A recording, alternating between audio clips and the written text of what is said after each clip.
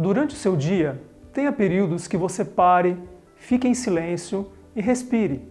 Preste atenção na sua respiração. Com isso, o seu organismo vai funcionar melhor, você vai ter mais calma e mais disposição para enfrentar os seus problemas no dia a dia.